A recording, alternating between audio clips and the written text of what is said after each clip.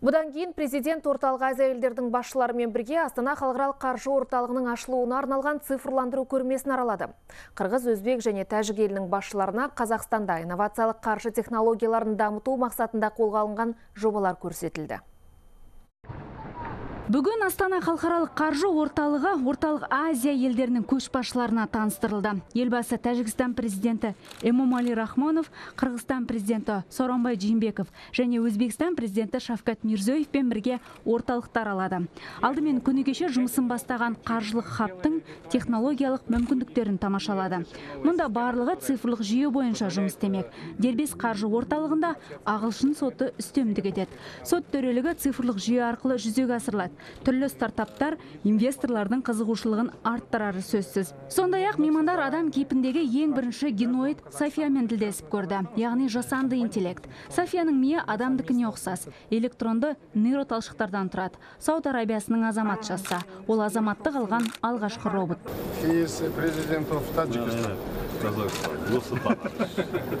is a multifunctional platform initiated by Mr. President Nursultan Nazarbayev. Астана халықаралық қаржы орталығының басқарушысы Қайрат Келімбетов орталық Азия елдерінің басшыларына қаржы орталығы қызметі туралы кеңінен әңгімеледі. Әсіресе жібек жолының бойындағы елдердің кәсіпкерлерін қаржы орталығының қызметіне белсенді атсалысуға шақырып отыр. Огромное спасибо. Құрметті президент мырзалар, уақыт бөліп келгендеріңіз үшін рахмет. Күні кеше Астана қаржы орталығының тұсаукесер рәсімін мемлекет басшысы Нұрсұлтан Назарбаев өткізді. Астана қаржы орталығының басты мақсаты аймақтық хабқа айналу. Осы арқылы инвестиция тарту көзделіп отыр. Бұл бір шетінен біздің өңіріміздегі интеграциялық әріптестікті жандандыруға септігін тигізеді.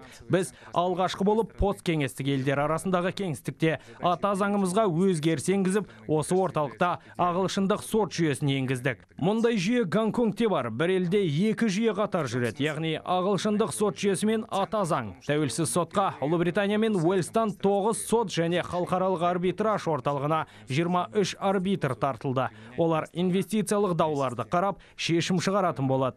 Біздің орталық арқылы Ташкентте немесе Душанбеде отырып, жасыл экономиканы дамытуға мүмкіндік мол. Буквально вчера состоялось открытие Күні кеше орталықтың ашылуы өтті. Аз уақытта қаржылық хабты іске қосу үлкен жетістік. Мұның бәрі президент Нұрсұлтан Назарбаевтың идеясы. Оған қоса барлығымызды Астананың 20 жылдығымен құттықтаймын. Бұл Қазақстан секілді елдің өзгелерді таңғалдыра алатынын көрсетеді. Мұндай ауқымды жобаларды жүзеге асыру үшін үлкен қажырлы еңбек қажет. Сәтті жүзеге асқан жобалардың бірі Астана халықаралық қаржы орталығы. Расында еліміз халықаралық қаржы орталығына шетелдіктерді тарту үшін барын салып жатыр. Инвесторларға елу жылға дейін салықтық жеңілдіктер беріліп отыр. Валюталық, визалық және еңбек режимдерде барынша жеңілдетілген. Қордың биржадағы екі ең ірі серіктесі бар. Бірі Қытайдың Шанхай қор биржасы болса, екіншісі американдық NASDAQ.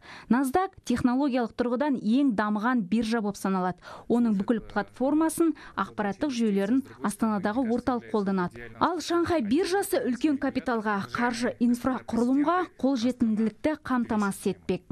Международный финансовый центр. Қаржы орталығы әлемнің әр түкпіріндегі инвесторлар Орта Азиядағы инфраструктуралық жобаларды қаржыландыра алады. Біз оған тікелей атсалысатын боламыз. Еуразиялық экономикалық одақты да осы тізімге қосуға болады. Бір белдеу, бір жол халықаралық бағдарламасына қаржылық қызмет көрсететін орталыққа айналу мүмкіндігі бар. Қазір бізде елуден аса компания жұмыс істеп жатыр. ақш ұлыбритания таиланд қытай елдерінің компаниялары осылардың қатарына тәжікстан қырғызстан өзбекстан компаниялары қосылса дейміз сіздерде өміршең жобалар мен кәсіпкерлер көп екенін білеміз Ресми түрде жұмысын бастаған Астана қаржы орталығы арқылы алпауыт компаниялар құнды қағаздарын саталады. Қазірдің өзінде биржада 34 миллиард доллардан асатын активімен 14 брокер бар. Жыл соңына дейін компаниялардың санын жүзге жеткізу межесі тұр. Бастысы тиімді әрі өміршең жобаларға инвесторлардың қаржысын тарту. Сондай ақ бұл жерде қарапайым халық ақшасын салып, жинаған еселей алады. Әсем Қабылбек президент телерадио кешенінің көмегімен хабар 24.